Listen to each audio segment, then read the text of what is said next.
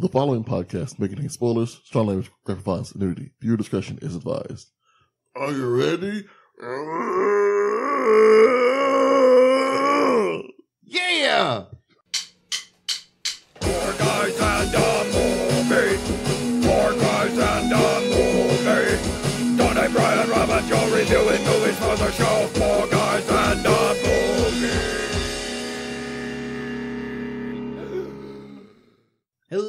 everyone, and welcome. It's 4 a.m. once again. That means it's time for the 4 a.m. podcast, where me and my friends watch movies from our past and see how they hold up to our older, more cynical selves. I'm your host, as always, Tony. Joining me today is. Brian. I'm Falcor.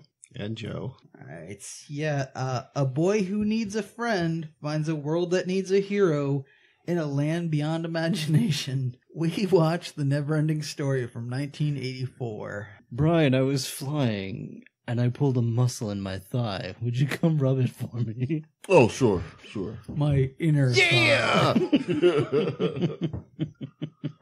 Why, why does it look, seem like you, have, you got mange or something? Why are your scales all, all flaking off and stuff? Like, I'm a Well, poorly made puppet. I haven't had a good rub down in ages. All right, so this movie is directed by Wolfgang Petersen, uh, who brought us Enemy Mine, uh, In the Line of Fire, Outbreak, Air Force One, The Perfect Storm, It's a bit of a. Troy, and Poseidon, the remake anyway. Uh, like the Brad Pitt one?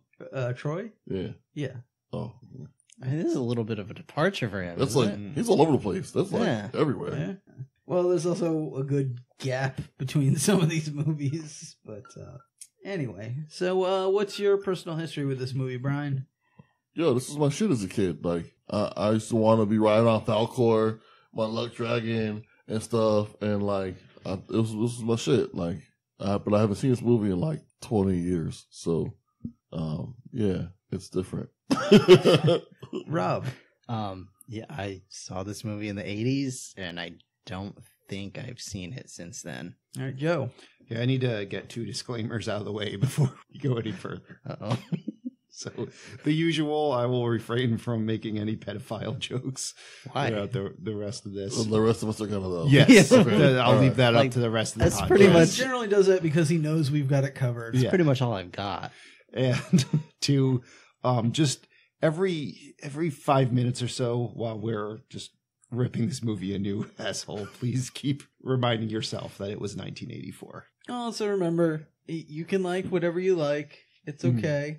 But we're just, this is what ha- we do. Have you seen this before? uh so i've only seen parts of it and i i'm guessing that I, if i w- ever tried to watch this i would usually change the channel or something because uh this movie's boring as hell Joe, that's such a And, shame. like You I should have would- said something. Mhm. You could see any parts of me that you want.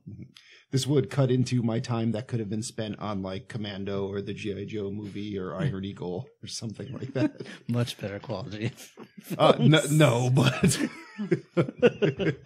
more in my wheelhouse. It's debatable, I guess. Um, okay, so the, the movie itself has a history, of course. Uh, it's based on a novel of the Does same Tony name. have a history? Oh, uh, yeah. I, sorry. I'm getting all over the place. Um, yeah, I, to be perfectly honest, I saw this a long time ago. Um, I haven't seen it since the 80s. And I kind of always, I never really went back to it because I kind of always remembered it to be really boring. Like, I knew it had cool scenes or whatever, or cool ideas and certain effects, but um, I just remember it feeling super long and boring. So I didn't really check it out since. That's my history. Well, I understand you feeling super long. Okay. So, uh, the history of this movie. It's based on a book of the same name by Michael End, I believe is how you say his name. E N D E. Uh, he did not like this adaptation of the movie, and he actually was trying to. He tried to get the movie stopped at one point, uh, and ultimately ended up trying to sue the studio that was making it, which did not work. I tried to get his name removed from it, but they ultimately agreed to just put his name at the end credits and not anywhere in the beginning. just like, dog, can't you just say it's by Stephen King or something? With these hands, thought were strong. I thought wrote a good story. It's all gone now. our uh, our lead here, Atreyu, uh, apparently should have gotten some extra hazard pay for this movie, as he almost died several times while filming it, um, including uh, the, the fight scene with the Gmork. He almost lost his eye when the giant robot uh, slashed at him, which Well, they a just launched it out of a cannon. yeah. I'm guessing from the sounds of it, uh, there was more of a fight scene planned, but after the first take went horribly awry, they were just like, "Yeah, scrap that shit." They're just like, He killed it somehow. let's just, let's just stick a my pet monster on the end of a fire extinguisher. Also, while training to be on his horse, the horse at one point threw him off and then stepped on him. oh, is that why he drowned it? No, but in the uh, swamp of sadness scene, the elevator that the horse was being lowered on for the drowning scene, he got caught on and dragged under to the point where he was unconscious when they finally pulled him out. Whoa. Yeah. So brain damage then. Possibly. Um, the the name of the mystical island is actually poorly translated. Uh, it was actually originally supposed to be Fantastica, but uh, you know, That sounds super dumb. y- well, uh, yes, but uh, through translation, it became Fantasia. And at least as far as I know, I, this might not still be true, but from the information I found, if you go to the German studio that filmed this, you can still ride on the Falcor puppet. What? So anyone planning a trip to uh, Germany? Yeah. But it's weirdly on its back now. Like belly rubs. he does like belly rubs. Anyone want to guess at how much money this movie cost to make? Uh, forty-two dollars. nah, I'm playing. Um, I'm gonna go with um, 1984 practical effects. I'm gonna go with three million dollars. I was gonna guess four, so I I'm gonna still guess say- four. 18. That, that didn't register at all. Like, Rob says eighteen. Wow, that's terrible. All right, um, I guess I'm going to have to give it to Rob's terribleness over here, uh, as it was twenty-seven million dollars. Wow, really? That's what they say. First guess was 25. In '80s money? 80s money. I think you can make a movie that looks better than this today with twenty-seven million dollars. Um, it all went into lawsuit settlements. You think the boy sued Falcor? yes. I, I think the city sued Falcor. Excuse me. All right, so does anyone want to guess at how much money this movie made? Fifty million. I'm gonna say forty. Go with thirty. Okay, uh, it was a hundred million dollars. Okay. Wow. So, who do we have in Wait, this wait, movie? wait, wait. So that guy didn't want his name on it even after it made hundred million dollars. Well, no, I'm sure after it made money, he was okay with that, but Okay. during the production and everything, he had a problem. He's okay that the, the royalty checks had his name on him. Yeah. Okay. Yeah, it's unclear if or when he came around on the whole idea, but uh, yeah, he just wasn't very happy with this adaptation. So, uh, who's in this movie, Joe? All right, so you have Barrett Oliver as Bastian, Gerald McRaney as Bastian's father, Noah Hathaway as Atreyu, Tami Stronach as the childlike empress, and Alan Oppenheimer as anything that needed a voice. It's like the Rock Biter, Falcor, Gmork, and the narrator. Wait, did, didn't you? Hmm? Okay. Yeah. No, that's fine. Okay. I misheard something, so and then I my brain checked it and said, okay, that passes. Alrighty. Well, now that Rob's brain has accepted this movie, what uh, what do we got with this? I didn't Rob? say that. What do we got? Yeah, let's get into the movie. Oh, um, so let's move. we start out. We get a scene of just like I don't know, storm chaser footage or something. Uh, Flash Gordon, Sky Effects. yeah, Flash Gordon eye effect. Screensaver. and like Sweet soundtrack. Yeah, holy crap, do we get an iconic song? it's an iconic song. But I gotta say, when I was listening to it this time, Kajagoogoo, I was like, "Ah, this sounds like an '80s sitcom theme, Uh, yeah. but not not like a movie score. Like we just came off watching like Batman, you know, such iconic music, and you know other other films that came out in the '80s, like Back to the Future and you know Ghostbusters. I'll tell you what, though, like I saw the, half of this movie once, and this song, like, uh, bam, I'm immediately back there. Oh yeah, well, and also there was like, what was it in the mid '90s? There was like that remix that came out and was all over the place, and Yeah, I think so. yeah. So we start out with that, and then we uh somebody's got to jump in here because I'm gonna forget. Okay, most we, of we this. meet the main character, Bastian. yeah, bastard. Yep. Uh, he had a dream about his mom. His dad, played by Major Dad, couldn't give a crap. He's too busy making himself an orange juice and raw egg smoothie here. yeah, what? Yeah, because that was the thing. Maybe I mean, you know, Hi- whatever. him and uh, Rocky. I guess that's Mhm. That's all I can think of. Yeah, I mean, he just sits down like his son's like, "Hey, dream about mom." His dad's like, you know, g- Move on, son. Say no to school. Get your eight hours of drugs. Good work. Which yeah, drink your work. Yeah, get your head out of the clouds. Put your feet on the ground. Here's a problem I have right What's off the bat. We need some context of timing here Mhm. because he's just, you know, yeah, your mom died. Get over it. Like she When? might have died last Yeah. week. I don't Yeah. know what the fuck's happening. No, but this guy's this guy's mustache just reaches across the table and slaps some man into Bastian. He was like, "It's been sixty years. You're only six and a half years old." Like, like, Yeah, that that could also be. Like, she died five years ago. You're six now. Time to move on, kid. Yeah, I mean, basically, he's like, you know, yeah, I know your mom's dead, but that's not an excuse to fail out of school and just not do anything mm-hmm. ever. Like, get a grip.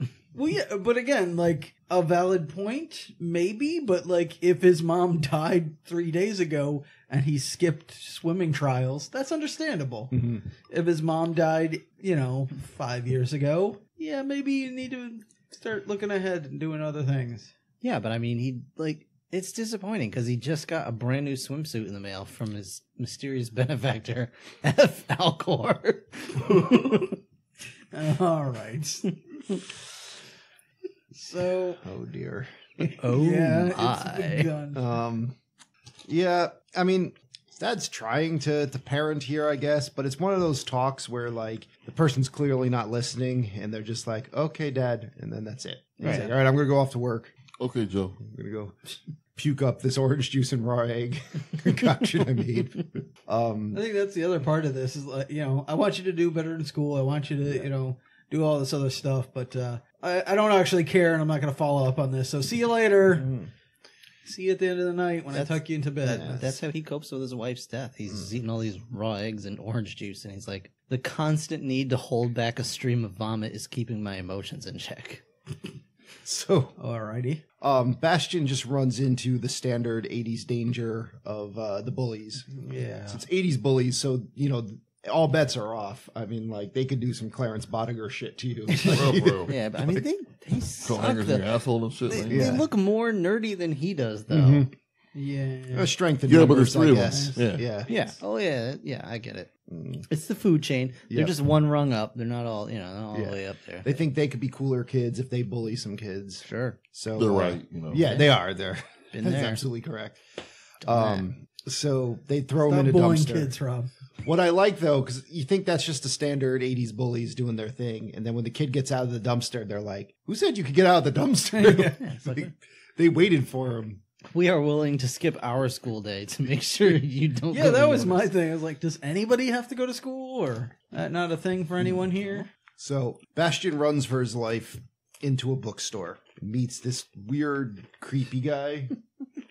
now, there was a long conversation about chicken nuggets and Uber Eats, so I, I literally heard no words this man said, but it's just creepy as hell. Basically, the guy's like, "Get the fuck out," and the kid's like, "I like books." He's like, "He's like, I'll, I'll get you books. Get the fuck out." the kid's like, "I read real books, like like Lord the You Lord know of the what a- Rings and like." But he said you don't know what a book is, and I think he says it's these weird square square things called books because he Yep. just does not believe this kid knows what books are mm-hmm. Until the kid yeah starts naming real books like Lord of the Rings and everything, and he's like, "Oh yeah, books are great, but uh, you don't know what real like danger is from books or some shit like that." it's, like, it's like your books are safe. yeah, And I'm just like, wee woo, wee woo. Stranger danger. What does he mean? Uh, But he pulls a whole like like like like like reverse psychology on this kid. He's like not even because kids was interested in, into it to begin with. But he's like, um, do your books make you feel scared and stuff? He's like, yeah. He's like, but then how do you feel afterwards? He goes, well, it's just not real, so I feel okay. He's like, there, that's your problem. It's like, what? Your books are too safe. So what the fuck are you playing at, old man? Like, what the fuck are you gonna? Let me tell you about Fight Club. I got this real a real book with real stakes. It's called the Kama Sutra. You have No idea. you don't finish this book by tomorrow, I'm gonna kill you. Oh, sorry.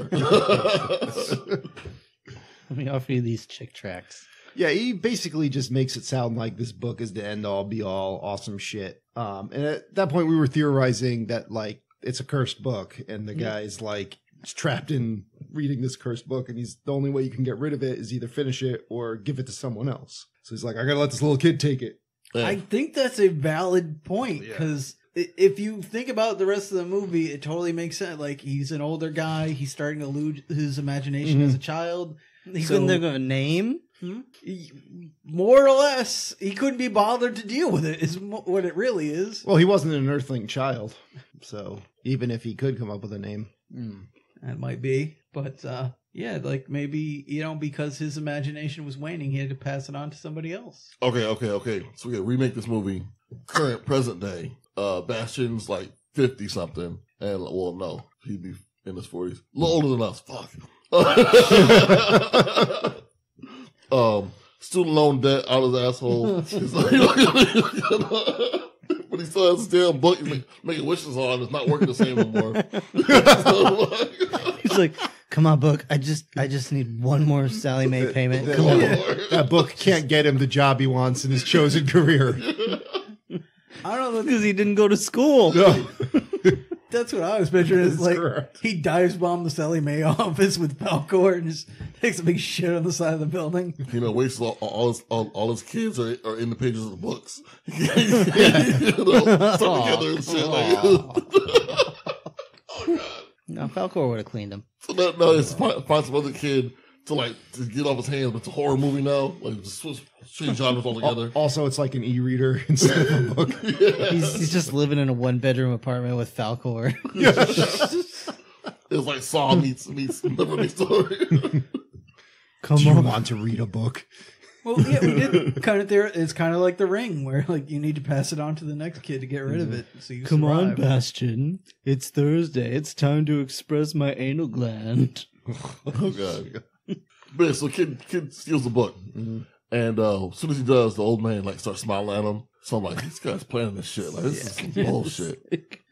Uh, Got some uh, quote unquote wrestling magazines in there that he's excited here- this kid to see. here's where I had some beef. Uh, this movie is a blatant ripoff of a film that came out in the 60s called Godzilla's Revenge, in which a little Japanese boy is hounded by bullies and finds solace in an imaginary land called Monster Island, where he has to help Godzilla's son save Monster Island. You know, you know with, with that one. yeah, I'm going. I'm going With there. that one? I'm going there. Yeah, yeah, yeah. Well, when he said film from the '60s, I was like, "Where is Rob going?" And I'm like, "Oh, Oh, yeah. of course, That yeah. shitty the ass only rubber s- ass suit. Yeah. All right.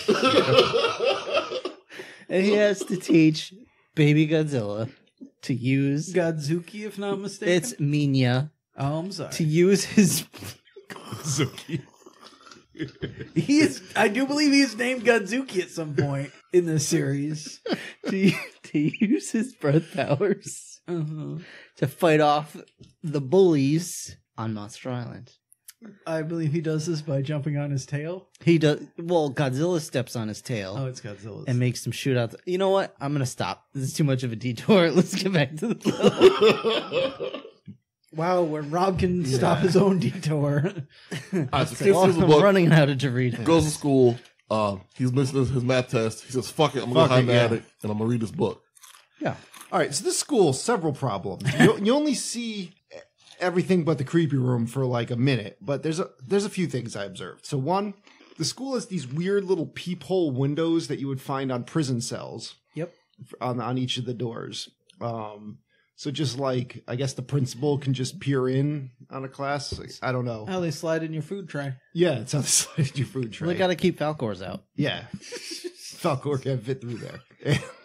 um, then he runs upstairs to the attic, which has one of those like in case of emergency break glass boxes that has the key to the attic. That's broken. It's broken. Yeah, no one's replaced that, covered that, taking the rest of the broken That- glass out You're in a school full of kids. Somebody's swiping that in a moment. in a minute. Yeah. I, I will argue, And someone's getting cut on that like Oh, yeah. immediately.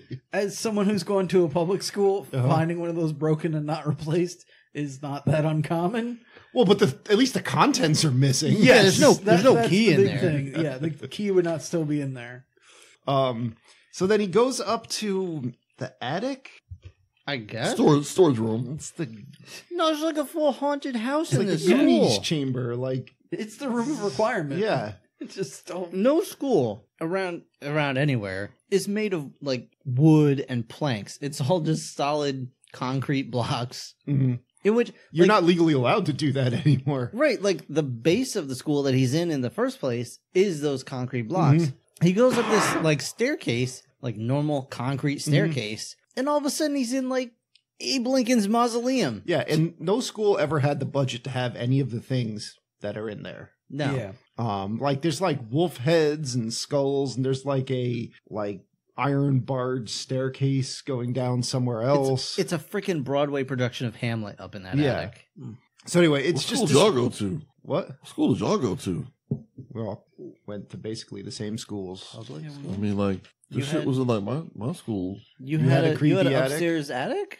Well, it was it was wasn't well. I mean, it was, but so my school was so old, it was like all run down and falling apart. So when I was in school, they actually tore it down. We had to go to go to a different school, but the old building had a whole bunch. It was all brick, um, brick and stuff like that. But like, yeah, it was like old ass prop shit all over the place and stuff like that. Like there, there was areas of the basement we, we couldn't go in because it was full of storage, storage shit like that. And my high school was even worse. Our high school had a bowling alley, a shooting range. Oh my god! Like, How is it worse? It sounds amazing. like, Ours had Shit. had a field and another That- field. A field that was sometimes a shooting range. but- Yeah. And like one stadium that they put a lot of money, they put all of the money in. Yes. yes. And then And then another field. a, a bridge that they built for 12 years. We did have an ice skating rink. That was pretty cool. But that was about it. There was a troll living in it. There was like a shop wing that if you went into, you immediately needed a tetanus shot. Yep. Yep. I Yeah. used to spend a lot of time in that shop wing. Yep. But anyway, So anyway, yeah, he locks himself up in this attic, uh, which also he can just do. He- He's got the one and only key to this attic. Mm-hmm. Locks himself up there.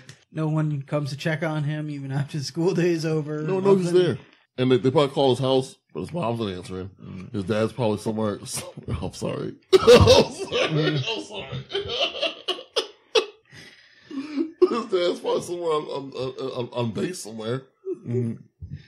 It's- Huh. His dad is at the local bar looking for a new mom. Anyway, So he starts reading the book. And um, everyone I talked to when I said we were doing this movie this week said this movie's like three hours long. Um, because it feels it. and I could see why, because it's like it has about the amount of content of things going on in a three-hour movie, but there's no like establishing shots or anything till the end. Like when we start flying on Falcor, then we get some. But like, But establishing shots of what? well, because that's the thing. Because now we're just like, there's a guy with a snail, it's a guy with a bat, there's a rock biter. It's all just here, and you're like, what the fuck is any of this? Yeah. Yeah, they throw you right in. and you're just there. You're it's going. It's like too bad. Just figure it out. Yeah, while we were watching this, I got up to get a glass of water, and literally, like from my point of view, I, I walked out while he was up in this attic about to read this book. I walked back in. There's a giant rock creature about to run over this guy riding a snail, mm-hmm. and this other dude riding a bat, and like I was just like, I missed so much. Oh, I shit. don't know how. And Shit, when did I get no, high? You didn't really miss anything. It's just, Yeah. we're just here. So. No, yeah, apparently I didn't miss anything. They just dump you in there. there are several points in the movie where I looked down to write something in my notebook, and I looked back up, and I was like, "Where the fuck are we?" Yep. I think the reason why it's, it felt so much longer as a kid is we all probably saw it on TV, yeah, which meant pretty long in commercials, uh, which meant you know commercials, which meant kids commercials. So it was like probably every five minutes it probably was having like new commercials. So it probably took three hours for real, like on TV.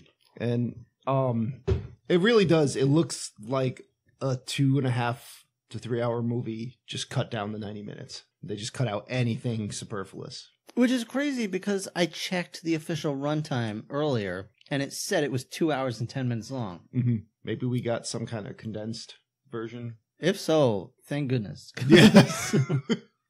Man, I could not. I could not sit through any more of that. So, um, yeah, we just we meet an array of weirdos. You got this. We got Deep Roy in his racing snail. We got this other looks like a brownie from Willow guy with a giant bat, Narcoleptic bat. narcoleptic bat, A giant bat. Mhm. and then we have a rock biter. Yeah. It's Fern Gully. It's just Fern Gully up in there. Now, this rock biter. Was he just pushing a giant wheel, or did it actually? Was it something he was riding? No, it, it was like like a, a, a tricycle he was riding. Oh, just with one. So it's essentially a big wheel. yeah. Yes. Okay, yeah. Hence the Born to Be Wild song in the sequel. Hmm. I think that's the third one. Sure. Whatever. Let's not go there. Um, Numbers don't matter when it's the never ending story. so, all right, the rock biter attempts to eat a rock, but as Brian pointed out, his puppet does not have a hole that the rock can go down. So he just drops rocks on everybody else. Yeah. And It's like Cookie Monster eating cookies. Yeah. It's just kind of yeah, making a gross mess and Mhm. spilling it everywhere. And my first note is I'm sure I'm supposed to be enchanted by all this, but I'm just bored. So there's clearly a lot of imagination put into all these, though. Like these, they're they're cool concepts, they're cool costumes, but already you're just like, what are we talking about? What are we doing? Why are we here? Yeah, nothing is happening. Yeah. People are just Nothing like, is happening. Well, they're talking about there's there's a nothing, you know, consuming the the east, west, and uh south. and south. Yeah. But um like they're like, all right, well let's go to the Empress then. Okay, I guess. Sure. because of nothing. Because of nothing. Yeah, like the rock biter says, like all his friends and everything were used to go down by this lake, but then he went one day and it just was nothing. It's like a bad Monty Python gone. joke, though. Yeah. It's like, oh, my friends were killed. By what? By nothing. well, what killed them? Nothing. Well, then what's wrong? Nothing. sure. Mhm. Uh but anyway, yeah, so so they go off to this the Crystal Castle, uh, where they find it's it really it's the dude from the Lego movie. That's all I can think. That dude. Vitruvius? was that who it was? The one played by Morgan Freeman? Yeah. Yeah. Okay, yeah. It's him. Mhm. It's the- this- I was thinking that penis-headed Jedi from the Yeah. prequels. Yeah. I I can see that too. But uh yeah, he's he's commanding for the princess. Oh, but he's there's all Or kinds of just sorry. weirdos in this room. Oh yeah. And you're like, I want to see these people talk. Like, I want to, I want to learn about their characters and their people. Like, who are the giant stone heads that are just wheeling around? You know, there's just there's all kinds of little people covered in feathers and stuff. Now, And here's my biggest problem with all of this. What? Um, just yeah, we, we start out establishing. You know, we got the rock butter, giant rock mountain man. You got the this weird little guy who's riding his race snail. We got Mm-hmm. Yeah. uh, the brownie with his narcoleptic bat. We got these giant rock Mm-hmm. head things. We got these other people that have two or three heads, and like all this craziness going on. Like, who are we gonna follow for this movie? I Some Atreyu. kid. It's just a little boy. Yo, like it's a D and D module. That's what this is. Mhm. Like it, it's because they're like just enough story to get you like get you thinking about stuff. But like if you just use the module as is, kind of boring. You gotta add your own flair to it. So this is a module with, with no flair added to it. Like, Yeah. that's all it is. Well, yeah, and I I get that, but like that's why I usually don't do that. like you know, again, it's the he's a young boy, so the young boy can see himself in that role and blah blah whatever. But you hate kid everything. I know. I know, do. I know. I just- I know. I Even when you were a get it. kid, you Yeah. hated kid everything. pretty much. Yeah. well, you're just Alright. rolling. You're just flipping a coin for your I'm gonna start calling you calling you Mor- Morga. So Morla, Morla. the tur- the turtle. Oh, yeah. I didn't catch the name because I was so uninterested by that point. All right. So anyway, Find um, out there's an empress that's going to save us. Sure. Well, the Empress is dying Yep. currently. She needs someone to save her. Uh, so she gives out the Auryn. Mm-hmm. That's the name of this deal. It's uh, as Rob described it, two snakes blowing each other. Yep.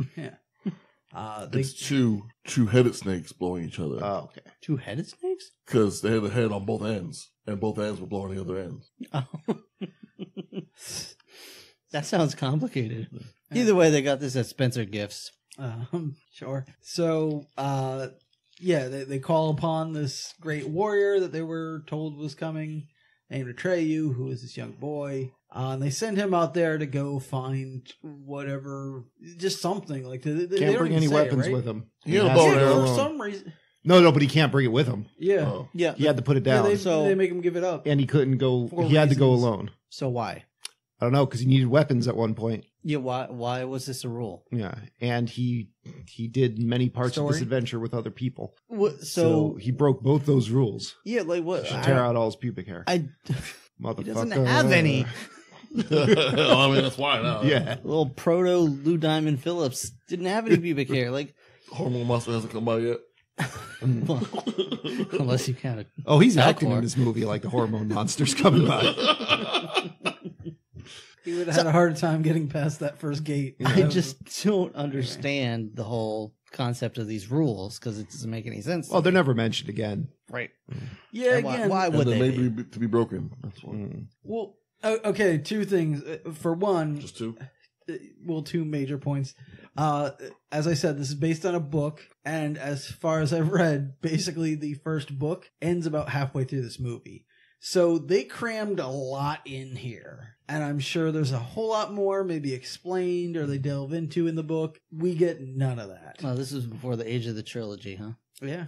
So, um, yeah, he gets his little amulet with the cover of the book, and he goes on his quest, and all that stuff that we've been talking about is is done. Like, you know, no rock fighter, no Yeah. no snail guy. Doesn't matter. I'll see you when I come back Yeah, towards the end of this whole court of weirdos, all gone. We do get one scene though, where we introduce, I guess, the villain.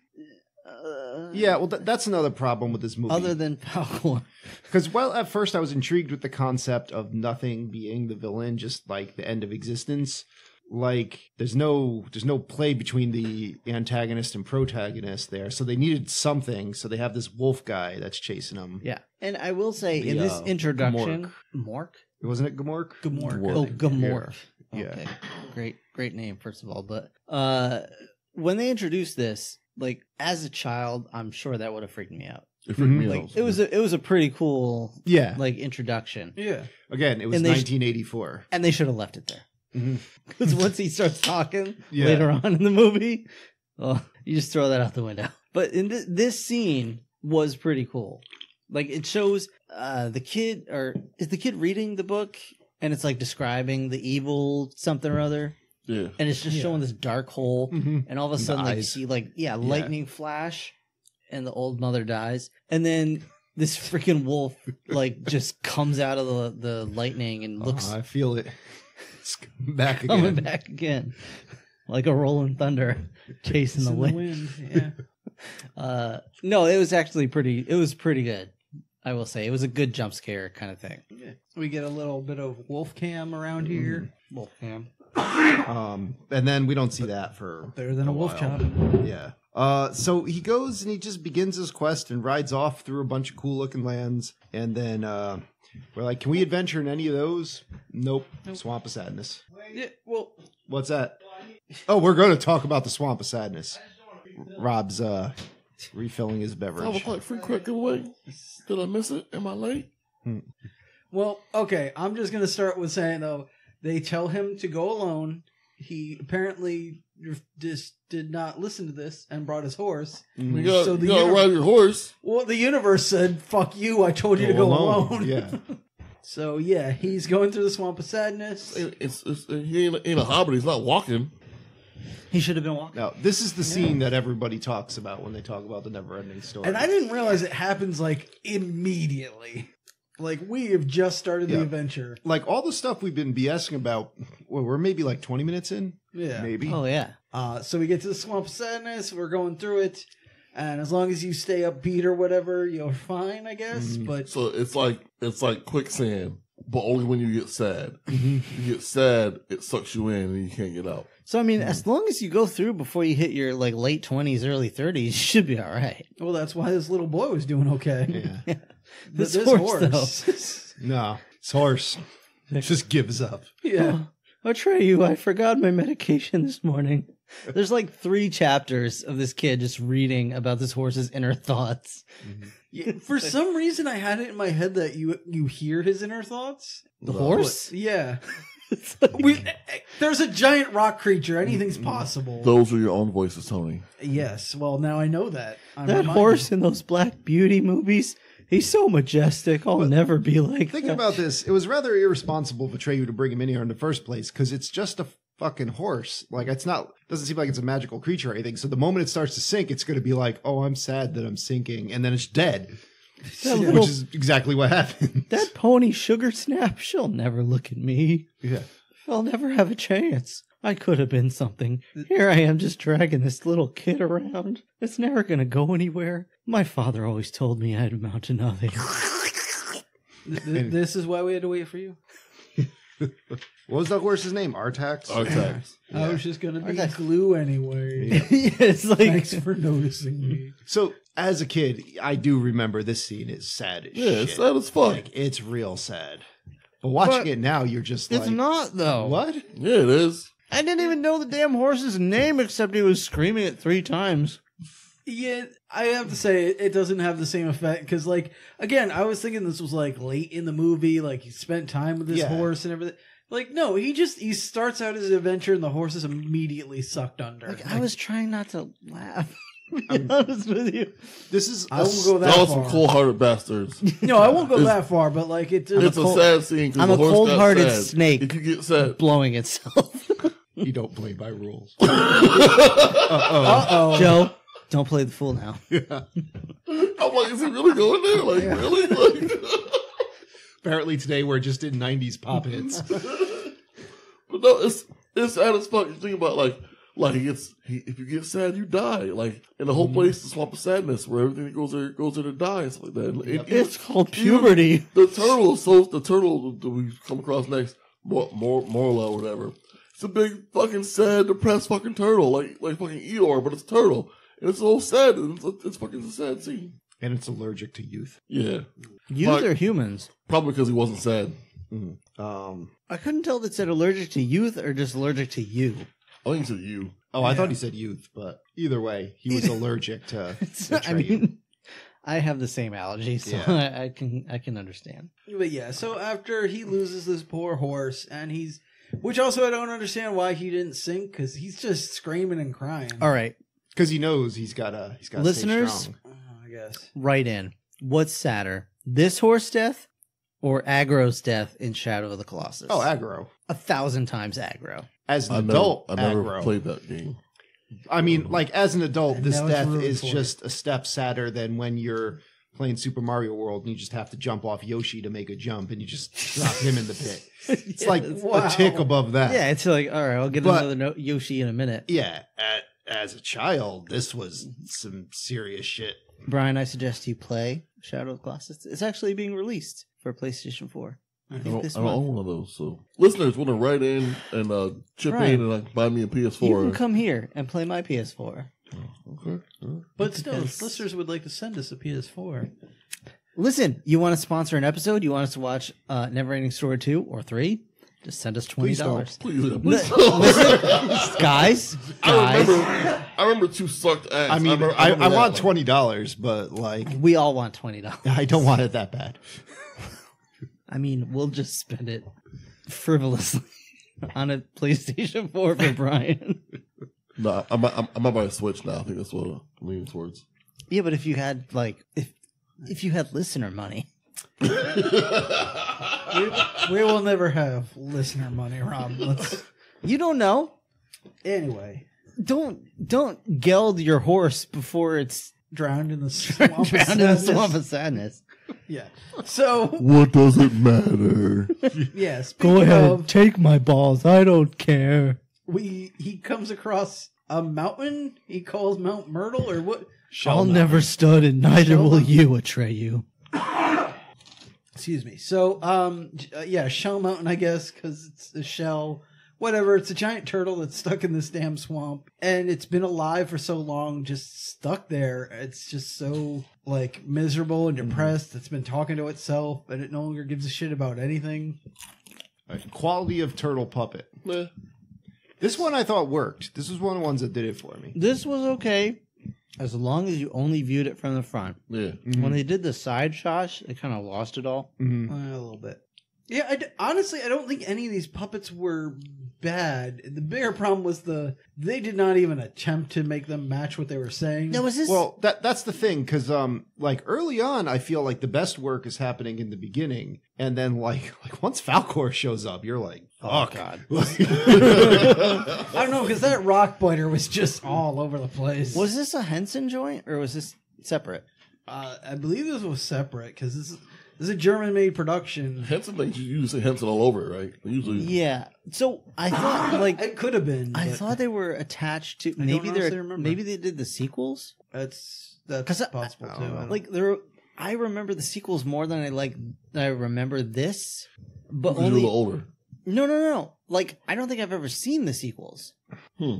It was only because I've seen like that movie Magic Show. They had they had this featured or the sequels featured, and I thought it was like Henson stuff. So Maybe I- Henson pick, pick, pick, grab the sequels, maybe. it, yeah, that's what Yeah, I'm thinking. They could be involved here. They could. It kind of reeks of Henson. It's it's got that style somewhat. It, I don't feel it's quite as good. That's why I don't really think it's him. But like, it could be his company. I, I don't know. I did not uh, find that out while researching. So. Because the, the Rock Biter looks like the Ninja Turtle movie to me. a little bit.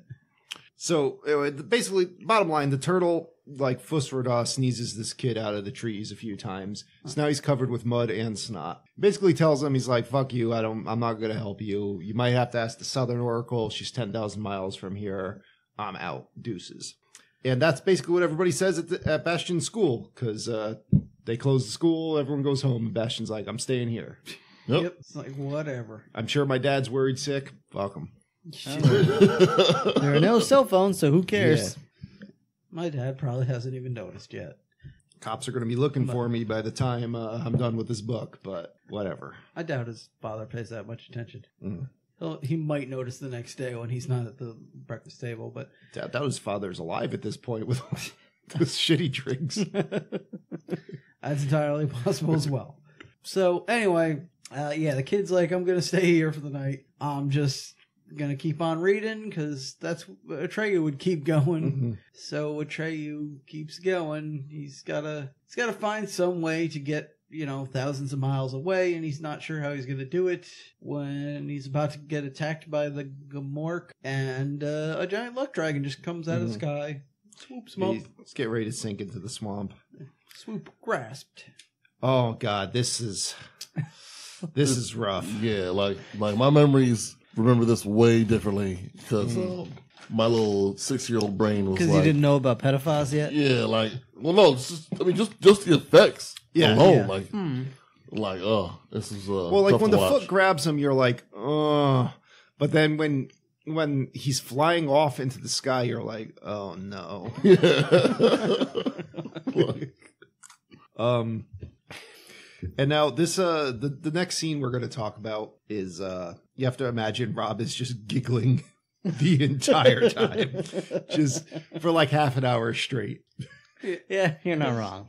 Atreyu wakes up after being unconscious for a little while uh, to find Falkor l- looking over him. Dude, all right. Falkor's asleep. He's asleep next to Falkor. So this is a giant camel dog dragon monster with just atrociously large eyes, like A weird mustache. weird mustache. So his scales are supposed to look majestic and dragon-like, but they're they're kind of gross. Yeah, they're, they're real gross. Like I think it might be one of those ones where we're looking at it on a bigger TV and better definition than we ever were supposed to. Oh, yeah, Yeah. for sure. like if you took like corn on the cob, right, yeah. and like painted white with some like you know that little that, that oily translucent kind of shit, Mm. whatever. Iridescent paint. Yeah, like that's like that's it. Sprinkle a little glitter on them. It's like corn on the cob. That's how scales Yeah. look. Like It's terrible. yeah, it was weird looking. Uh, And then that's protruding from hair too. So whenever you have hair and scales, it's always kind of uh, that's a tough one to do, and yeah, Yeah. it's not. It's rarely ever a good uh, good look for anything or anyone. But uh, yeah, Trey finds he's all. They, they mention how he's like cleaned up and everything. It's like, Mm, I found you and I cleaned you and I dressed you. Pretty much, pretty much. That is, that, no, that's exactly Speaking what with they a, with a very Takei-esque voice. Oh my. yeah, Atreyu seems to get weirded out and he tries to run, but Falkor is just like, "Hey, Will you scratch behind my ear? I give free mustache rides on my dick. Oh. But he honestly, he's like, you know, you were out for a while, wink. And it's like, why the wink? There's we too- don't need that. Too many suggestive winks here. so I basically, like um, kids. By the way, you're missing a button on your underpants. so Falkor flew him nine thousand nine hundred, no nine thousand eight hundred something miles, Yeah. whatever. Uh, so he's like, "Oh, you get me closer." He's like, "Yeah, you know, you're lucky. We're luck dragons. What, what, what do?" Yeah. He's like, well, I'm all alone now. He's like, You're not alone. Over there, there's some little, little less people that will like tell you some stuff you should know because it's a DB module and you have to have things be convenient. Yeah, go over there and meet the two people that should be interesting, but are not. but they're not. Like you, you see them and you're like, these guys look cool. I want to learn about them. And then you're like, there's nothing cool about Ma- these Miracle two. Max, he is not. Yeah, It's like the family from the ref, but old and gross. Mhm. I mean, Sure. she didn't try and fuck Atreyu, so I mean, How do you know? ah, true, true. Although, and and you, well, you mean he? Oh, Either way, he was like, oh, both of you are too old. oh. Kevin Spacey Joe. Yeah, that is a little too hidden. But all right. So, uh, yeah, this weird elderly brownie couple or whatever they are. Mm. There's I don't even know what the fuck they're doing. what are the names? Did they even say? I don't. Maybe uh, they did. They said the guy's name because he's he's important in scientific circles. No. He says that a lot. Gross and Grossina.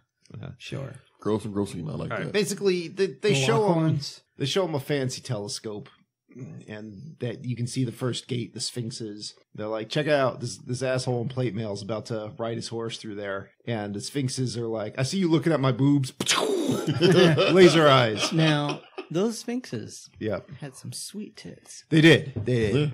Not gonna lie. It would be hard not to look at them. No. But uh, not gonna find that in children's movies Yeah. these days. So basically, they they could tell how um how brave you are, or was it something like it? Like if you doubt yourself, they kill you. Yeah, if, Yeah. if you if you don't know your own self worth, Yeah. So like the four of us would would get shot the moment we Oh, stepped into the immediately. valley.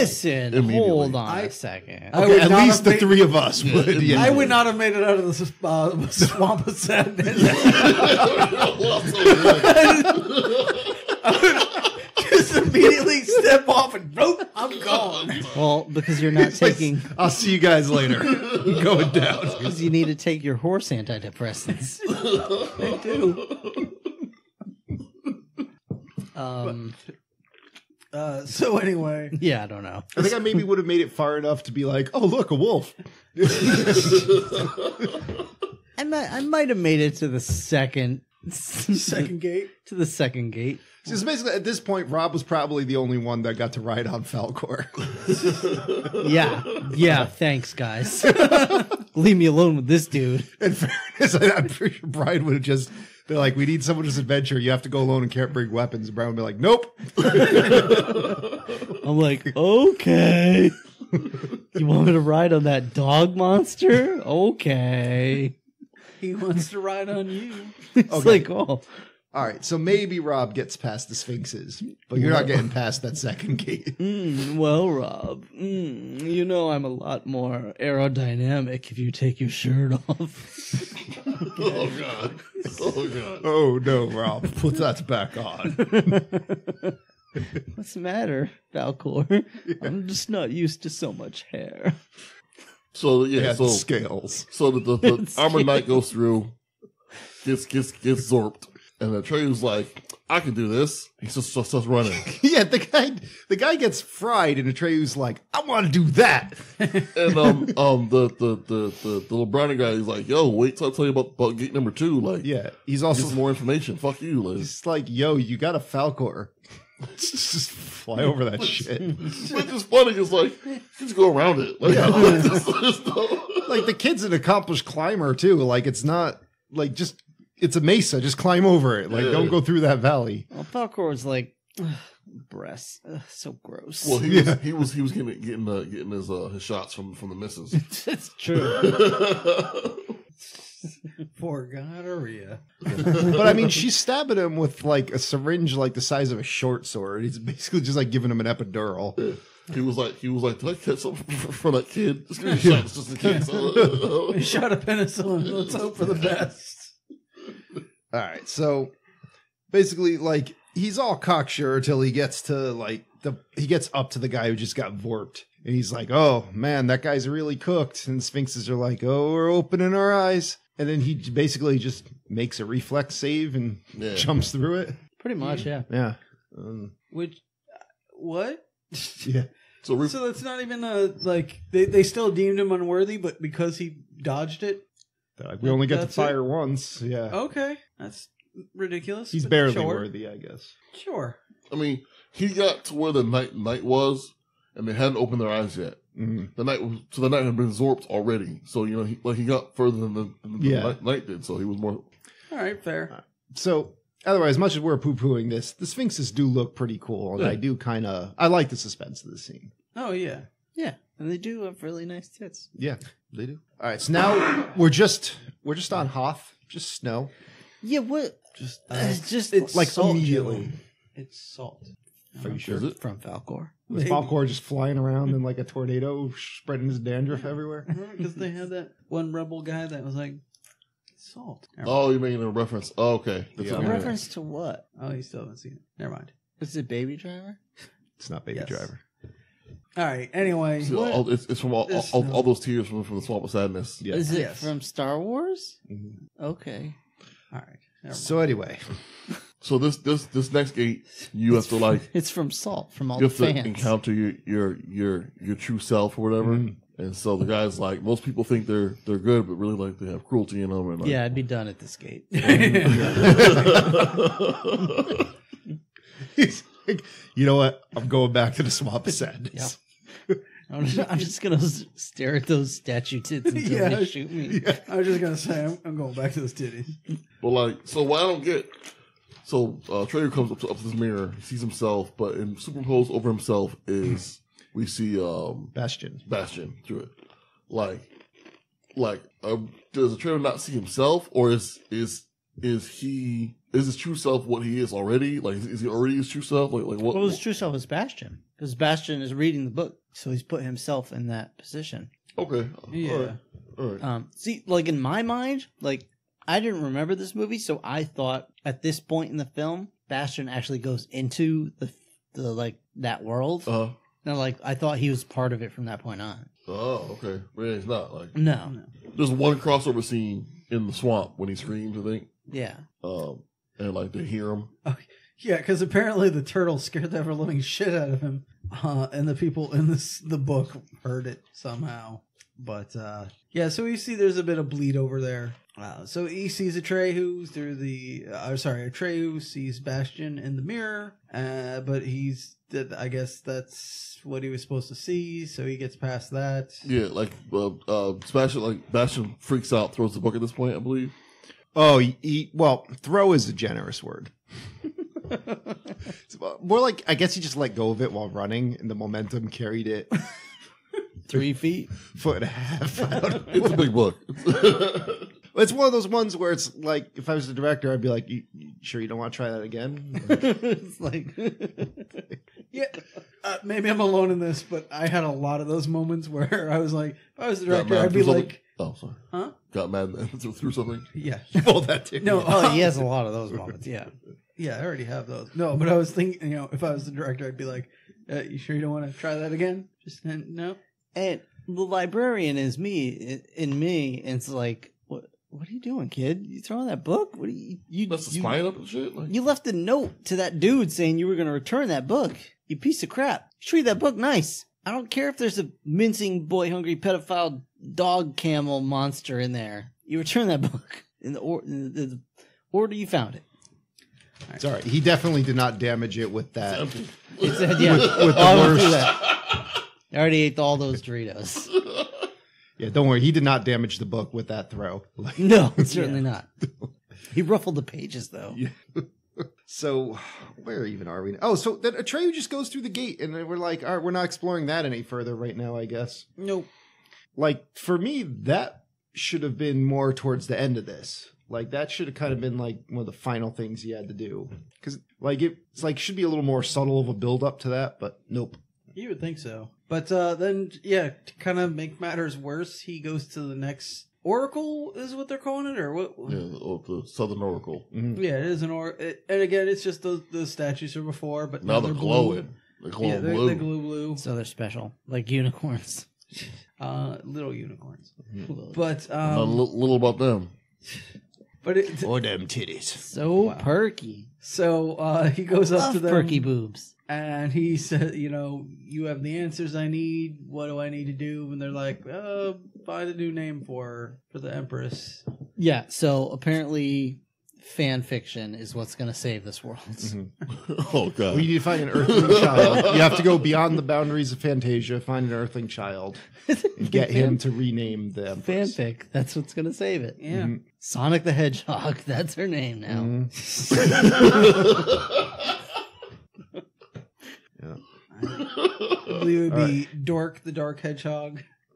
And so we get what's probably the other iconic scene from this movie where he's he's feels good now. He's like, all right, look, cool, let's get out of here. And um, Falkor just picks him up and he's like, yeah, as they're flying through everywhere. the music starts just a playing flying again. montage. Yeah, music's pumping. You're like, if you only show the side of Falkor's head, this looks pretty cool. Yep. Sure. It's gross ass scales. yeah. and then we find the nothing. Yeah, just shit gets crazy for a minute or two. Like, scene was filmed on the level of like a, a Michael Bay production. Like you only see very specific parts of creatures, uh, you know, Falkor and the kid, and like you're like, what's happening here? And no idea. I tell you, I had to talk to your parents today. I had to let them know I moved into the neighborhood. No biggie, just just a just a legal thing. It's all right. Oh, by the way, I dropped you. We can still hang out. Oh, by what? yeah, like we have the equivalent of like one of those Scooby Doo things where like the camera spins around them to look like they're spinning, mm-hmm. and Treyu gets thrown off. Wait, when does that happen in Scooby Doo? Occasionally, happen. well, not they go get thrown The, off a cam- Treyu. the camera in Scooby Doo will spin Well, around. you know what I mean. Like they they just kind of take the footage and they spin it around and to make it look like people fell or something crazy happened, but they don't want to actually animate it. Oh, oh yeah, so yeah, they'll do a total like 180 degree All right. rotation You're and fall on like their head. road. Yeah, okay. Yeah, any of that kind of stuff. I was like spinning around like. All right. there we No, like the Matrix, like Shaggy jumps in the air and the camera does a full Yeah. 360. There's actually a camera in front of them. Vertically, not horizontally. I get it. I get it. So, Wake up! um, what even happens here? Uh, Where are we? so we? Atreyu Rally around is the now family. thrown from Falkor. With a pocket full of shells. Mm, We have we're raging against the machine. Yeah. Atreyu. All right, so, oh, that's it. He just lands on the beach. He's like, "Oh, I lost the Auryn. Oh, great! I found a rock biter. Rock biter's all sad because he let go of his friends and then nothing What- took them. This is where I almost had to laugh because just the rock biter's like these hands. They they look like they'd be big strong hands, but I couldn't keep hold of the little man and the fast snail or something like that. And I mm-hmm. was just like, that sounds so wrong. Y'all are gross. Sorry. It's a What touching else? scene. Well, what I was hoping for was like A boy touching scene. I was hoping that it would be one of those where like he held them too tight, kind of Lenny style. Oh. that that was my thought too. To be honest with you, And when you actually see the hands, there's Blood. just little remains of the oh. two of them. There's a crushed shell and Yeah. some just goop dripping out. these hands are bleeding. Those right, hands so- are not small. I know. These hands Well, have then he squished a goes- lot of snails and a lot of little guys. Some building, it's got paintings kind of showing everything we've done so far. And then there's a painting of the uh was it the Gmork? And then it turns around and there's the Gmork. Yeah, Is that re- that's really the name they went with? Yeah. yeah. The Like Gamorrean. Gmork and Gamindi.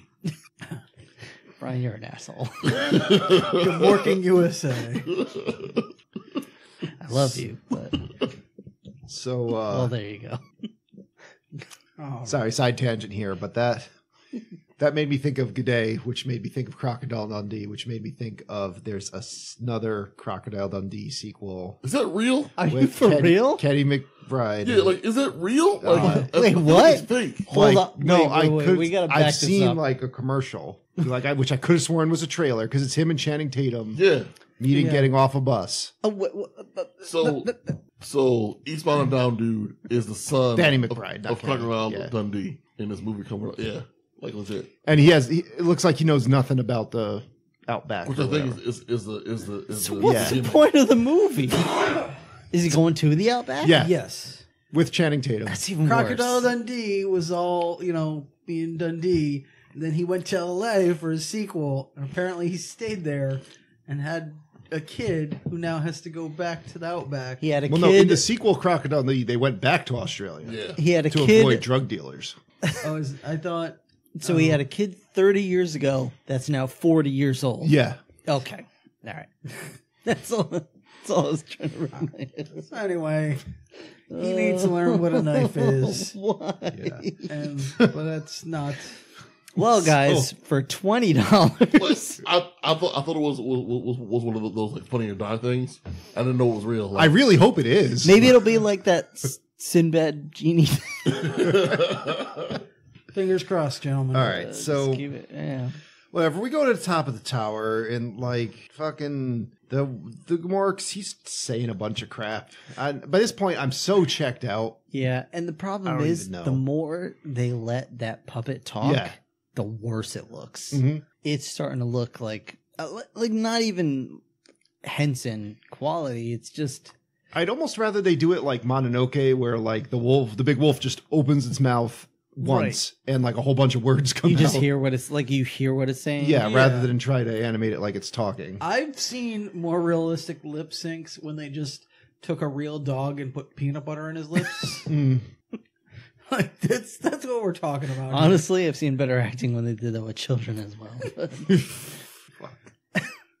so yeah, this looks terrible. But we think that looks terrible. Wait till they fight. yeah, ultimately the wolf is all like, "Yeah, I came to to kill this dude named Atreyu. Uh, I'm like I'm I'm the slave or servant. Yeah. He's Of the- servant. He's trying to help the nothing for some. Why though? Like He's got some nihilistic thing going on. I here. guess Yeah. sure. And I mean, uh, I'm sure it makes sense, but by this point, it gives him a big dog. I'm trying not to fall asleep. I think Tony actually is asleep. Tony at this has been asleep for the last Tony- like hour. Tony Yeah, sank in the swamp movie of sadness. That's yeah, every that's true. Um, If it's not not Baby true. Driver, he doesn't care. but either way, I'm like, I don't know. And then the wolf's just like, "Hata!" and launches out of the wall. Because he goes, because he goes, he goes. I was trying to find this kid Atreyu, and I lost him. And, and Atreyu's like, "That's fucking me, fucker. You want to fight? Come get some. Come, Yeah. Once you bleed, once you bleed, I'll bleed." I'm sorry. I'll betray you, bitch. Let's go.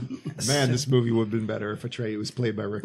oh man, I lost my magic necklace. Woo! but, but legit, it looks like they took they took a, a, a legit like puppet and put it in an air gun. You know, one Yeah. that shoots t-shirts, fired it through a, through a styrofoam wall.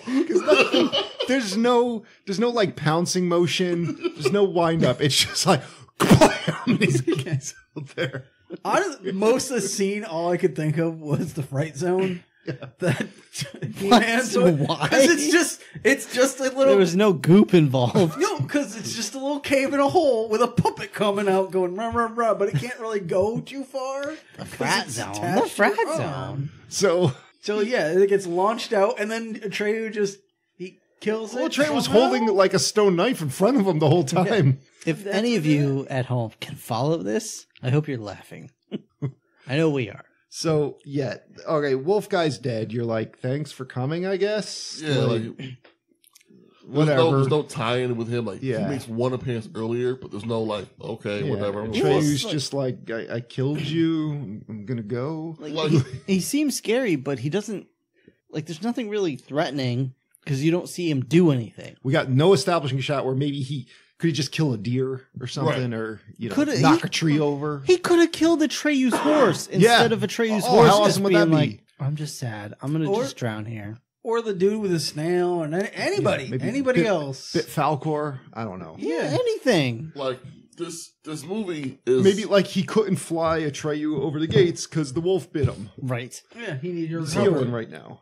this this movie is like um you don't it's not long enough to give you any context for any of the characters so they just show up they do something and they, and they leave and you're like what was that oh what I, want, I wish I knew more knew more mm-hmm. about that shit like it feels like this should have been a trilogy or this Yeah. or this should be like a series of books you know what I mean like like it- it's just missing so much so much like Yeah. context out of, out of everything that happens And, and, and we're just underwater now. Now, like this is one part where I was writing and I'm like, where the hell do we go? Like, what's happening? Yep, Falkor just drops out of the sky into the water.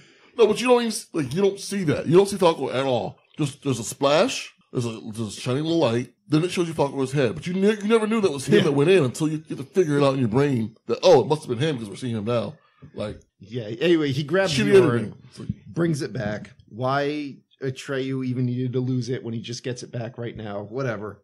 Um, No, that's made sense. yeah, and he picks up Atreyu. Fantasia is now like an asteroid field, yeah, blow Like- it blowed up. like the Death Star shot it. Um, the ruins of Alderaan. It's Krypton. Yeah, and we f- the the ivory tower's still there. We fly up there, meet the Empress. We just crash right through the fourth wall. Yeah, she's looking sickly. I guess she's dying. Who? Hmm? The Empress? Yeah. The Empress looks fine. No, to she's me. yeah, she's she's just She's like, like it's all black right, under her we're eyes. cool. She, she hasn't slept in a while. Like you know, Yeah, Yeah, I- she, she's sure. a little terrible, but you know. Treyu's all like, I didn't find the Earthling child, and she's like, Yeah, you did. You brought him with you. He's right here listening to us. Just like there are other people watching his story, and I'm like, Fuck you, movie. yeah. It's the nothing. It's a But combination. when you were six, yeah, when I was six, I bet this was really cool. yeah, I mean, I never made it this far, but I bet this would have been cool. the yeah. nothing has consumed us. It's a combination of Snapchat and Adam Sandler films. It's destroying everything around us. better than Rob Schneider films. Although there's some overlap. There aren't yeah, any. there- those, those have vanished into the nothing. Yeah, those are part of nothing now. All right, so that, that she's just like, no, everything's gonna be okay. This kid just needs to give us, give me a name, and then like everything's falling apart. She's like, no, he just needs to give us a name. Give me a fucking name. Can't just say anything. She's like, you already picked it. Just fucking shout it out. Just say it. Hey, hey, Bastian, how about you give me a name? Atreyu- and he's just like, this can't be real. I don't get it. I don't Trey's believe like, I don't care anymore. I'm, I, he, I died. Yeah. he just falls over and dies. Meanwhile, we cut to the school, and Bastian is just staring blankly into the book. Well, he said that Drool Atreyu is like died. and it's slowly like- pooling around his face. I honest, there was a moment where I thought we were getting a little match girl scenario where, like, he was just gonna freeze to death or burn himself alive or something. No one. All right, Nope. whatever. No one. Just you you. know, maybe you want to add some Say it was suspense here. fine. Maybe this is when the bullies come and they took the book or something, and he has to stand up to them and get the book back. Right. Yeah. Like, he never stands up to the bullies except for when he's got a Fucking dragon. pedophile dragon hanging around him. Well, In, in his I mean, dreams, that's he does. that's the best thing to chase bullies away with. But True. especially at that age. But it's all a ruse. Like, he knows he can't legally come within 50 yards of these kids yeah. or the So- school. So finally, this kid works up the balls to yell a name. Can't he, give out Halloween candy. he climbs up to a window and shouts it out to the heavens.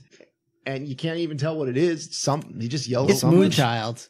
I heard it. It's Moonchild. Yeah, this has been a bit of debate. Uh, some people think it's intentionally like kind of obscured, so you can use your own imagination to make it up, which I think would be better because then I they should have had a lightning crash and thunder and Yeah. like have his just mouth moving and no audio. Because when you hear Moonchild, which I heard, I mm. was like, oh. I didn't hear it was I couldn't Moonchild until after Tony said it. It could have been poo pile for all. It, it Well, might as well have been. I wish it was. With But here's the other problem with that. This is his mother's name. yeah. Mm-hmm. His mother was named Moonchild. Moon Unit and Dweezil. Sh- uh, it happens. Yeah, that's It true. That is Like, true. Fair enough. happens. Fair enough. but my God, It's born in the 60s. yeah, like it happens. Yeah. Moonchild. So yeah, she is now named Moonchild. Again, yeah. How great would it be if you just screamed shithead or something? like, Shafid. yeah. Shafid. Thank you for saving all of us. Yeah. I am now Empress Shithead. I liked what you yelled during the movie. They're like, her name's Gary. Can we be done now? It's Faquad. but like, it's, it's the shittiest edit- editing because like, um, he's in this window. There's lightning crack, light strikes, thunder, rain in the window, all kinds of bullshit. Her placenta But- falls from the floor. His, his, he's lit and then dark. He's like, he's alternating between being lit and, and being in, in the shadows. So you, you you cannot see his mouth moving. You can't hear it because of thunder. You can't see it, and it's just. I'm like, what he say? What is it just me that missed that? Anyone else missed that? Like, I, either way, we gotta. No, Except the hearing impaired because they got the Yeah. closed captioning that clearly said oh, that's good, good Moonchild. Call. But it was, it was 84 though. Yeah. Was it? Was it? Was it? Well, no, but I mean, you know, once you get you know DVD releases, This has been movies- debated so much that some people did try to watch in closed captioning, which it does not say. No, it's he- Yeah, Moonchild. It's like I know it straight is. up I'm gonna say in Moonchild. in '84, closed captioning would just say Yell's name. Yes. uh, it has since been revealed it is in fact Moonchild. yeah. But uh, Either way, You know, I'm glad I didn't hear it as a kid. Oh yeah, if I heard Moonchild, I'd be like, what the fuck is this? Yeah. As a six year old, I'm like, like the that's fuck? there's the I, best I you would have came turned with. into the Star Child from uh, 2001: Space Odyssey. Right there. Like, what? First, I'm an old man. Or then the- I'm the Star Child. or the Eraserhead baby. yeah, or the Eraserhead baby.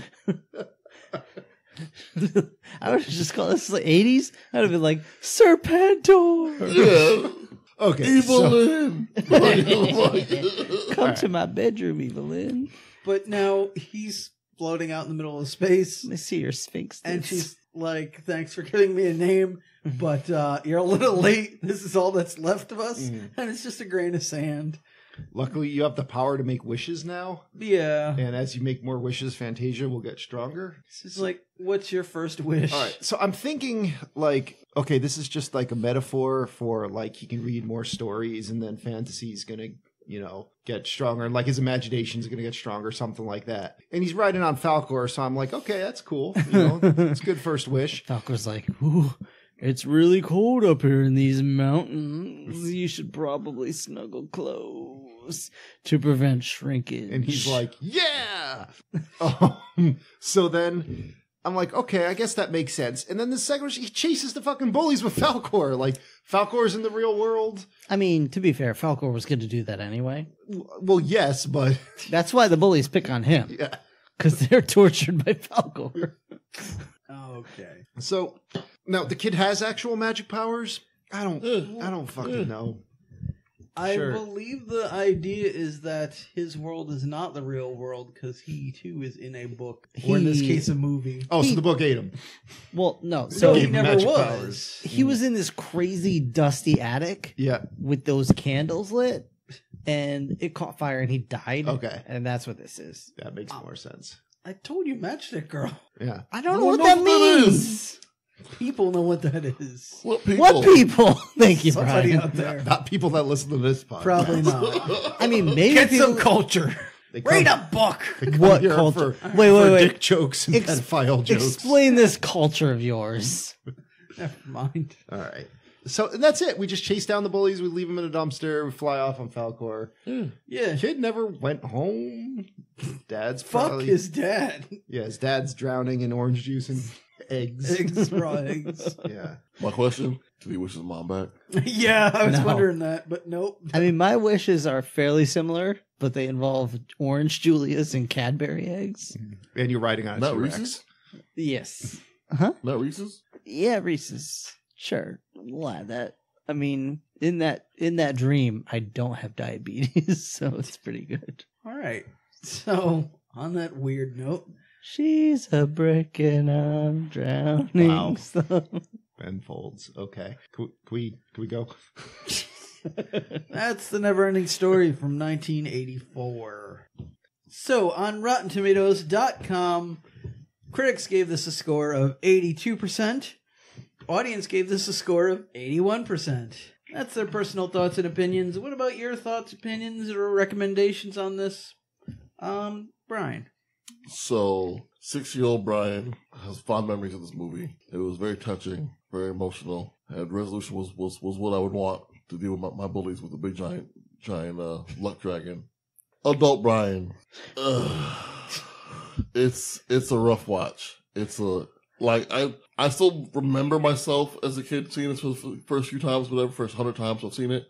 But like, I, I could not in good conscience tell an adult to see this for, for the first time. I could, like, I couldn't. I, I, I couldn't. But I would take like a six year old kid and make them watch it and to see like what they, uh, like where their disconnects are. Cause, you know, six year olds see so, so much shit now. Like what, like where their brain is at, like, like, you know, when they figure it out right, right away, like what, how they, how they do it. I would, I would want to see that experiment. Like, come here, kid, watch this. Like, Okay. back in my day. So you want to make one of those kids react to videos on YouTube? Yeah. Okay. Might already be one for this. But uh Rob. Falkor would also take a six year old kid.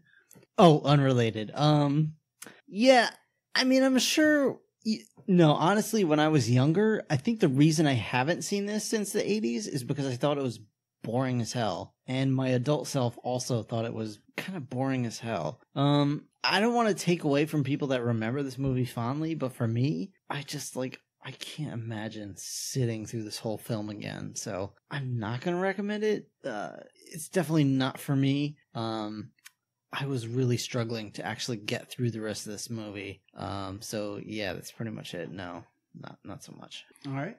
Joe. So yeah, this is one of those reviews that I do where um, I'm going to put it in that category where leave your nostalgic memories of it where they are. If you liked this movie back in the day, just keep remembering what it is you liked. Uh, don't go back to watch it again. Um, if you've never seen it, then don't don't watch it. Um, maybe, like Brian said, if you show it to a six year old, like it might be something they'd enjoy. But uh, yeah, as an adult, don't just don't. Um, that being said, this in 1984, I'm sure this was a very groundbreaking and important movie. Um, and there was clearly a lot of imagination and effort put into it. Uh, you know, they tried, but it just it does not hold up. Um, so that being said, I can't recommend it, but I acknowledge that like I'm sure it was a good movie in its time, and I could see why it has an 80s critic review and an 80s user review. Yeah, um, I'm gonna mirror a lot of what Joe said. Uh, like there are good ideas to this. I'd be somewhat interested in maybe looking at the books, or if someone tried to uh, to remake this, that might not be such a bad thing. Um, as much as any remakes are, but uh, yeah, as far as this movie, it's better being left in that nostalgia box in your past because it doesn't look so good in the light of the modern day. So yeah, not a recommend from me. C- can I make a recommendation? Sure, please. So there's another movie from the 80s about a kid reading a book um, that like is one of the few movies that I think like almost universally is regarded as perfect called The Princess Bride. Oh, I thought you were gonna say the Page Master, and I was gonna come across this table and Whoa. hurt you. Wow, this is me we're talking about. That's true. And I Okay. believe that's the '90s. Yeah, but needless to say, like, if you want a movie about a kid, you know, exploring a story and you know, kind of developing while he does so, and this one bonding with a parental figure, it's The Princess Bride, and like the story is way more interesting, way more exciting. Just watch that. And Peter The Falk. fantasy's way better. Like, and what? Peter Falk is way less creepy. Peter Falk is way less creepy. Andre the Giant, some of the awesomest sword fights ever put to film. Anybody you killed my father, prepare to die. Like, just Princess Bride. Done. Yeah, no arguments from me. I'll second that Joe. emotion. Yeah. Joe, you should make a module based off of this movie, but like fill in all the gaps and shit you wanted to hear that wasn't in. Uh, it's gonna be one of those ones where like the characters are aware that they're characters in an RPG, and you know they got to bring the the players to. It, it would We'll play be it. Shitty. We'll do it for the podcast. Listeners, write in if you want to hear Joe That's right. write a. Give us story. twenty dollars. I think you might have to throw in another twenty just for Joe, but we'll see. All right, but uh, moving on from that, uh, recommendations instead being Princess Bride.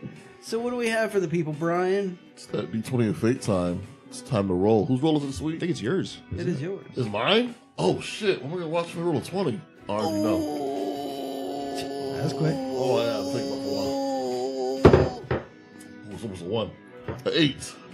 All right. Oh, Oh boy. Well, it's appropriate.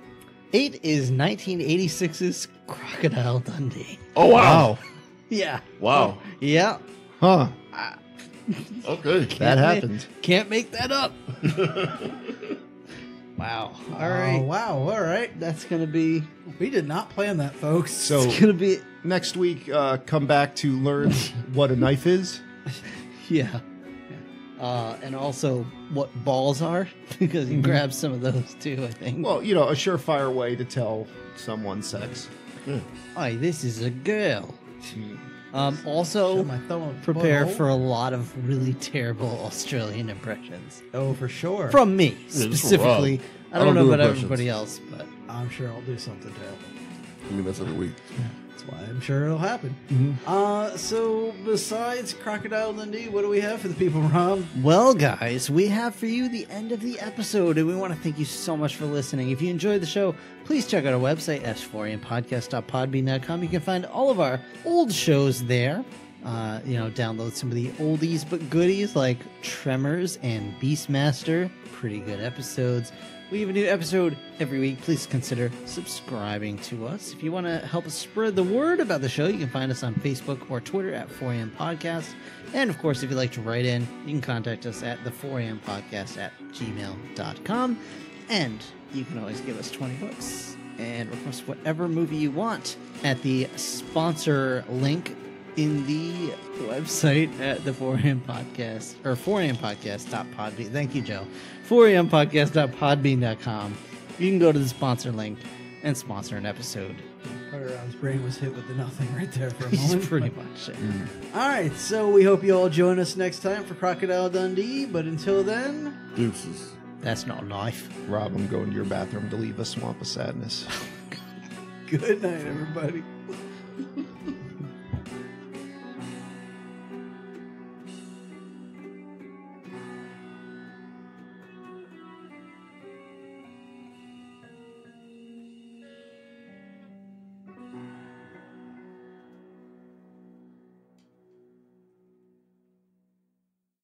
a rolling thunder chasing And he hits this the wind. falsetto where he's like, wind. it's it's bad. I can I- I have a feel question. it. Question, question. I can feel it. Can you feel this? All right. Question. Yes. Um, what was the name of that cartoon that had these knights that had these hologram things in their chest? The and- uh, then- Visionaries, in, right? yeah, and visionaries. Well, in Visionaries and like just visionaries, I think. because like the, the hologram they turn into whatever's in hologram. Yeah, it's just visionaries. okay. Uh, like I was about to say in humanoids, but it's That's- visionaries. yeah. Tony was All right. right. Now the the live action one with Knights was Tir Na Nog, right? Yes. Tir Na Nog. Okay. But I think Visionaries is getting a movie What? soonish. Why? Oh yeah, Hasbro's Why? doing all their stuff as Why? movies. Why? Actually, Why no, not? not all their stuff. Mask was scrapped. Was it? What? Yeah. The fuck? Do, do you do you really want that though? Do you really More than Visionaries. The, the way Hasbro's handled any of their properties, do you that's want fair. that? I That's think fair. probably they were like Mask is probably too close to Transformers. They're rebooting GI Joe. Of. With the Rock? Oh, he was already in one of them. He was already in one, and Bruce Willis was already in one. But I uh, I don't know what they're rebooting it as. But they're More rebooting Transformers. They're garbage. rebooting GI Joe. I want. The want. rebooting Transformers? Yeah, because Michael Bay's done directing them, so they're actually like gonna get actual. Wait, for directors. real? Yeah. I didn't know that was a thing. So this didn't know that the was a thing either. the next one that's coming out this year Yeah. is Bumblebee's like Yeah. solo movie. Yeah. It's taking place in the 80s. Bumblebee is a VW bug. Yeah, but he still, as It far was- as I can tell, looks like Bumblebee. He looks as- like they're keeping Yeah. the same aesthetic. So it's not the- really a. The reboot. script was written by a lady, so it's probably That's it's got probably promise. not going to be the same as the Michael Bay films. and it's uh, the lead. Well, the leads, as far as I know, is John Cena, which. Eh. That's a no, problem. that's not the How you lead. gonna see him? The lead is Uh-huh. a young girl. Well, yeah, the uh, the main lead, however, is the girl from True Grit, which that has more promise. So we got kind of like a. How are you gonna say the lead and then say the main lead? Yeah, John Cena is Wouldn't, playing wouldn't, like wouldn't the two main lead be, leads. be the lead? the two leads. What's that? John Cena is playing like an FBI agent, I think. Oh, no, what'd you say, Brian? I'm saying, like, wouldn't the main lead be just be the lead, and the other guy would be like, you know, Oh, I thought you were saying That's what- wouldn't Bumblebee be the lead, and I was like, Bumblebee you would lead. think that. They think- That But no, never but it been the never case so is. far. Well, I mean, it's it's showing promise so far because it, it Yeah, does no, I'm interested from what you said. It does take place in the 80s. Yeah. Michael Bay has nothing to do with it. Yep. Yes, And, all positive. Yeah, things. it's all, and that's basically how they're going from here on out. So, so it's not, but it's not a reboot. They're just well, this isn't a not- reboot, but I think the next Transformers movie That is going to be like a soft reboot. Stupid probably. thought, like Yeah. Bumblebee, like he didn't. He he had some head trauma or something when he crashed. He's uh his transformation when he first starts is a bumbleball. He's like, let's go. It's like, That'd be pretty great. this is BB-8. Get around. it's BB-8. Oh God, I'll get there eventually. All right, fingers going up. John Cena.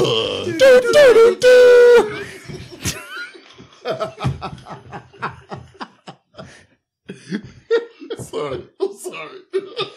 Brian, you can't see me. Listeners at home, you can't see us. Like literally, it's a podcast. I can't right now. Fuck. I'm sorry. Trying All right, so okay, hard. I'm good. I'm good. I'm It's so hard to keep Star Trek. And you got so far. But in the end, I'm just gonna kill myself. Oh, that was terrible. I feel bad. I'm sorry. you should. That's, I should. All right, that that killed the giggles though. So thank you. Can we, My can we do it pleasure. now? I'm gonna try.